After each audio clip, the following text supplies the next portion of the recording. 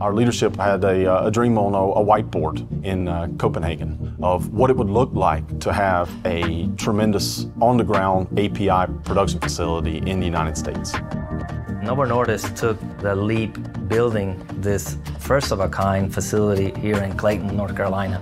Novo Nordisk is a business. We have also said that uh, we would like to defeat uh, diabetes. If somebody should do it, it should be us. This is the type of project that we, we, we dreamed of.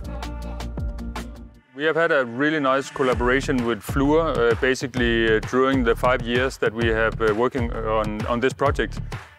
We have a long history of innovation. A project like this was actually needed to fulfill the overall ambitions for Novo Nordisk. The Novo Nordisk way is that we never compromise on quality and business uh, ethics. And that, of course, also go when we uh, choose a business partner. When you enter into construction and building a facility such as this, there are only a few companies on earth that have the capabilities to actually make it through something as significant as this. That alignment of Novo Nordisk and Fluor culture. For Novo Nordisk, they serve patients. For Fluor, we serve our customers and the communities that we live and work in. This is the biggest investment project in uh, Novo Nordisk's history. It is definitely pushing the boundaries for what you can achieve in projects. When pushing the boundaries, you also have to innovate the way you, you work.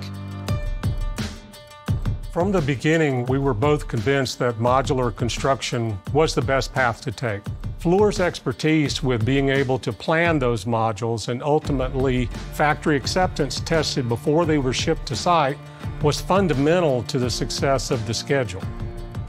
Fluor had a very unique opportunity to do self-perform on a life science project.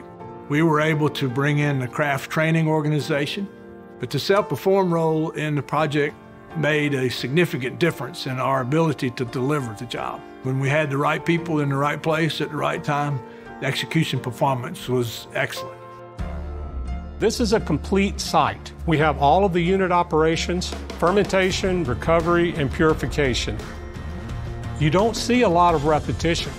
You start to see a lot of unique, brilliant installations and brilliant creations from this client to create the product that comes out the backside of purification. A mega project this size very often come with a lot of challenges. The way we earn trust in projects like this, and particularly in, with Novo Nordisk management team, I believe it came from how we handle the challenges. Between Novo Nordisk and Fluor, we have collaborated uh, despite the challenges that we have seen.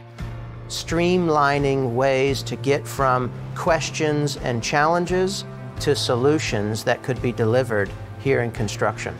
And we were able to deliver what is the largest pharmaceutical installation in the industry today There's no doubt that this project for Novo Nordisk is one of the most complex and challenging projects ever to be delivered in the life sciences industry.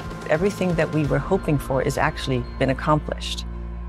We have a facility here that has an enormous flexibility to increase our capacity, also gives Novo Nordisk as a company enormous possibilities. The team had total pride on finishing this project. But ultimately, it was the focus on the patients, the patients that have diabetes. The collective team of Novo Nordisk and Fluor kept that as their number one focus.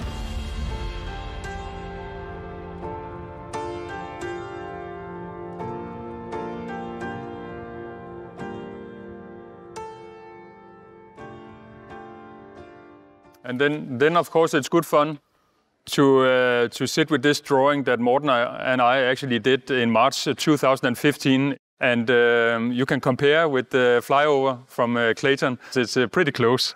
so